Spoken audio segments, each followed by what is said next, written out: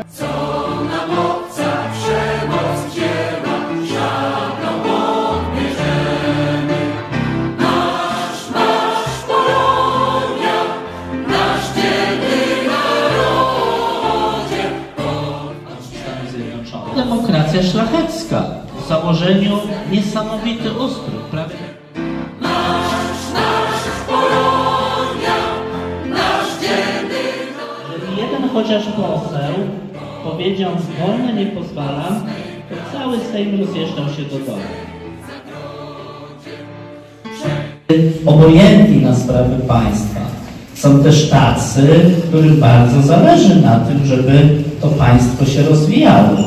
To byli ci, którzy byli twórcami Konstytucji 3 maja, którzy stanowili trzon posłów, którzy obradowali na Sejmie Wielkim. To był jedyny Sejm zebrany w latach 1788-92, gdzie obowiązywała zasada większości, nie było liberum veto.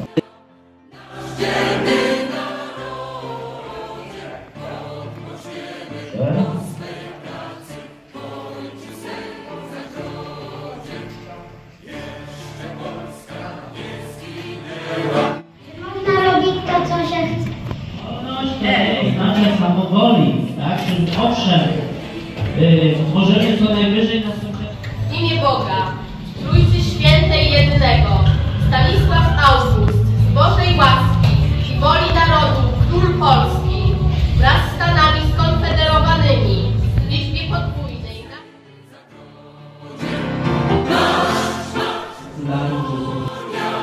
na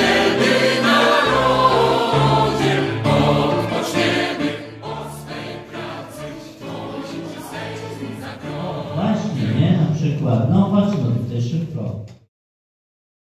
I pierwszego przejemy wszyscy, żeby Polska, żeby Polska była Polską.